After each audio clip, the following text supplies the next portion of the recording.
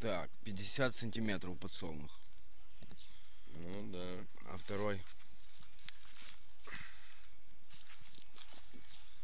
О, да, вот так можно. 40, да?